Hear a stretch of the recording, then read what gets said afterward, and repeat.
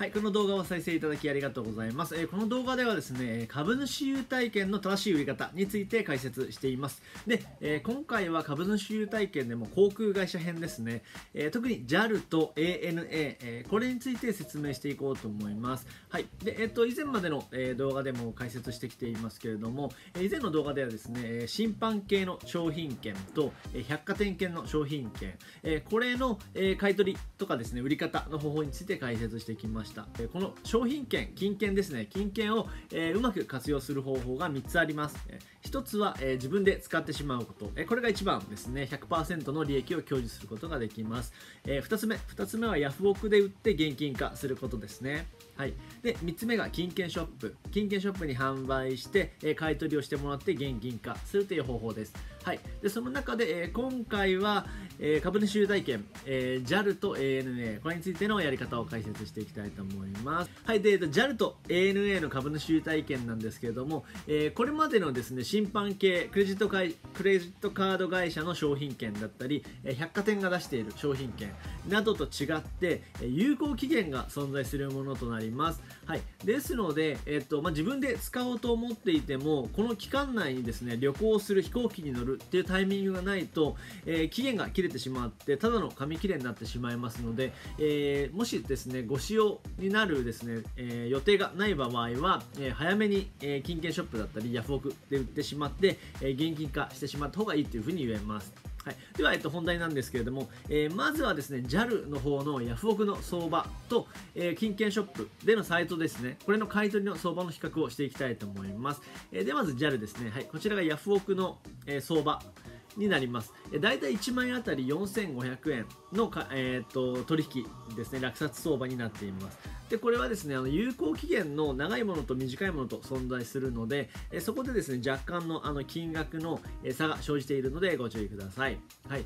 で、大体4500円ですね。で、えー、ヤフオクの場合は、えー、販売すると手数料が大体10%前後かかりますので、まあ、4500円で売れ売れたとしても手数料がそこから450円引かれてしまうというような感じですね。はい。で、次はアクセスチケットの方。あ、えっと、金券はですね、基本的にアクセスチケットをで、と売ることを、えー、推奨しています。はい。で、アクセスチケットの買い取りの相場ですね。はい。こちらですね。えー、大体アクセスチケットの買い取りで4300円というふうになっています。えっ、ー、と、これはですね、あと、あの、時期によって変動多少してしまうのでご注意ください。あとですね、有効期限の長さによって買い取りの金額が変わってしまいます。はい。で、えっと、アクセスチケットの場合は、販売手数料のようなものはないので、えー、まあ、このままの金額になるんですけれども、え郵送の場合と店頭買取の場合で、買取の金額が違ってくるのでご注意ください。で郵送する場合はですね、え郵送料が自己負担というふうになります。では、次は ANA のヤフオクの相場を見ていきたいと思います。はい、こちらがですね、ANA のヤフオクの落札相場ですね。はい。えっ、ー、と、大体1枚あたり3500円から4000円で落札されています。えーと、これもですね有効期限があるのでご注意ください。はい、そして、えー、ANA の株主優待券、えー、アクセスチケットの相場はこちらになります。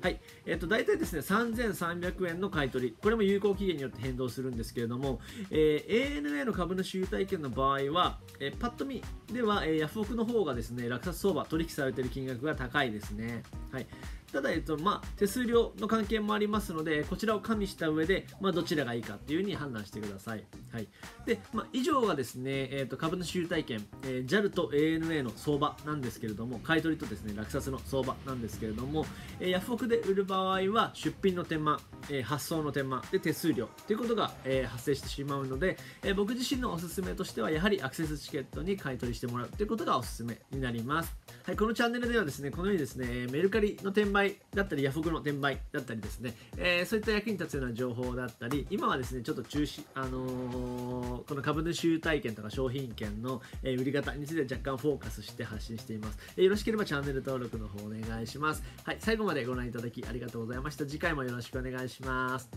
バイバイ。